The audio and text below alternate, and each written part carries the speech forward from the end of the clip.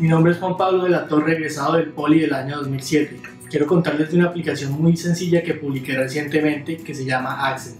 Es una aplicación que nos ayudará a mejorar el acento y la pronunciación en más de 35 idiomas. inicialmente empezó como una simple idea gracias a que constantemente tenía que preguntarle a alguien cómo pronunciar palabras que leía en libros o artículos. Champion. Champion. Champion. Y dándome cuenta que no había nada como lo que yo buscaba exactamente en el mercado, decidí hacer mi propia aplicación y todo empezó con una lluvia de ideas. El siguiente paso fue definiendo un MVP o producto mínimo viable que consiste en definir las características mínimas que la aplicación necesitaría para salir al mercado.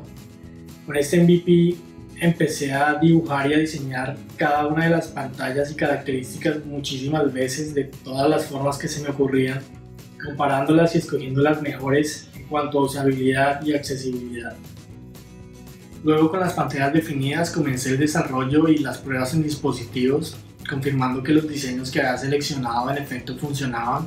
Bueno, en lo que más me ayudaron los conocimientos adquiridos en el Poli fueron en el desarrollo y en tener unas excelentes bases y conceptos de la metodología necesaria para desarrollar un proyecto de software. Descargar Accent es muy fácil y totalmente gratis y se puede hacer de dos formas. La primera es entrando a www.accent.ai descargas o siguiendo los links que hay en las redes sociales como Facebook, Twitter o Instagram con el usuario Accent App. Y la otra forma es directamente desde el App Store buscándola con la palabra Accent.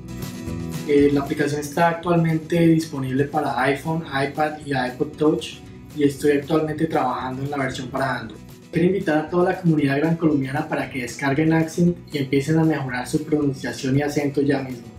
También les quiero pedir que me apoyen dándole 5 estrellas en el App Store. Muchas gracias.